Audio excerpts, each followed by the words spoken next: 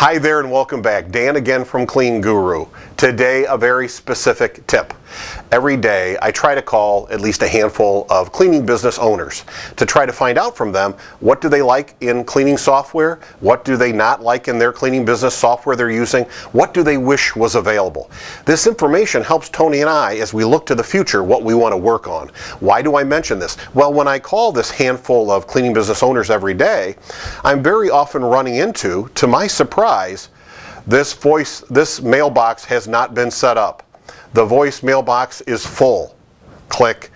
I mean, you're it's like thud.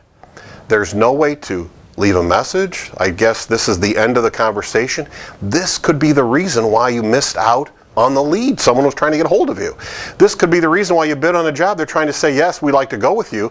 And then they get this as a response. Now they might be scared off thinking, I don't want to go with this company if this is the kind of uh, availability or responsiveness I'm going to get.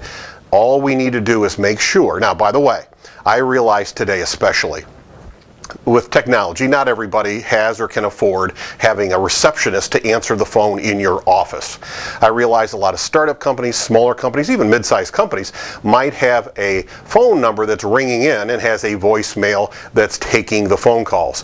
What's the point? Make sure that you clear out the mailbox so that folks can leave a message. Something that simple can really be a big deal. You could miss a lead or a job because it was full. Hope that helps. Until next time, remember that you can do this. You really can.